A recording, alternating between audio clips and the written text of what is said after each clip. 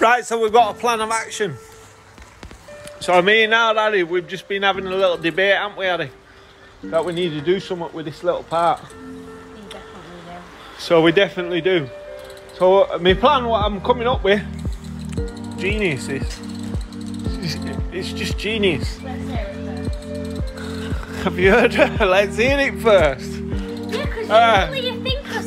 I drowned You don't think of the opposites, uh, well, the bad sides to it, and you don't think of the good sides to it. And then you- just have to buy loads of material, and then you have to wait ages. Then you've got half of the material, then you do half of it, and then realise, and then you've got to wait, and oh gosh. Do you know what I mean?